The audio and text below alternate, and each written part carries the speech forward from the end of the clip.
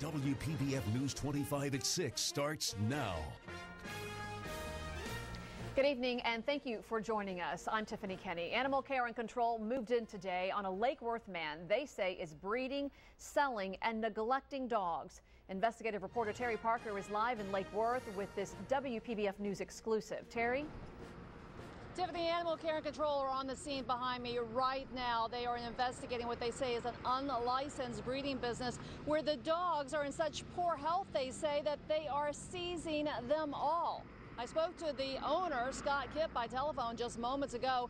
He tells me that yes, he's unlicensed and yes, some of the dogs are sick, but he says these dogs are his babies. And he says Animal Care and Control is out to get them. Armed with a search warrant, Animal Care and Control and sheriff's deputies go to investigate over 20 dogs owned by a man they say is an unlicensed dealer. They seize over 20 Shar-Peis and Rottweilers, including some puppies. After a vet examines the dogs and concludes they are in poor condition, at least two of the Shar-Peis are blind. A female Rottweiler is sick. The dog's owner, Scott Kipp, owns Kipp's Canines and rents space here. Animal Care says he sold a puppy recently that had parvo and died, and they say he doesn't return customers' calls. One of Kipp's former employees denies the dogs are neglected. He does that. He takes care of some dogs. He gets shots for them. He does everything for them. So he's a dog breeder. Yes, he's a dog breeder, but he doesn't do, he doesn't abuse them. He doesn't do anything like that to them.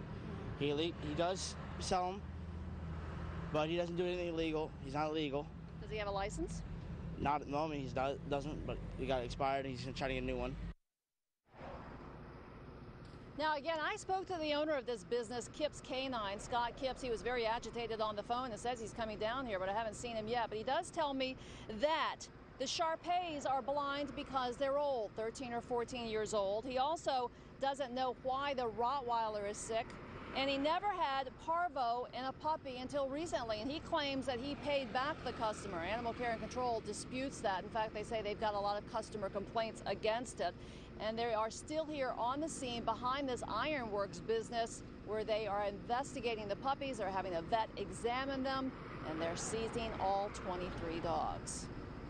Live in Lake Worth, Terri Parker, WPBF News 25.